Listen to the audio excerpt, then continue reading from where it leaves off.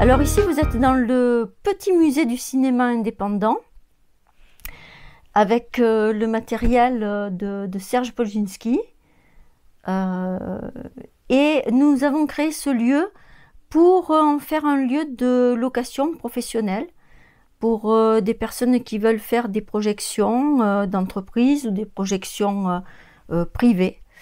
donc il est équipé d'un projecteur, il est équipé de, de, tout un espace sono de l'autre côté, cabine technique. Et c'est un plus pour, euh, pour euh, le lieu ici. Euh, nous avons cette salle de location avec la salle de conférence qui est à côté. Alors, le petit musée du cinéma d'auteur et indépendant est ici et voilà ce qu'il contient. Les films qui pendant 15 ans ont été mon activité principale.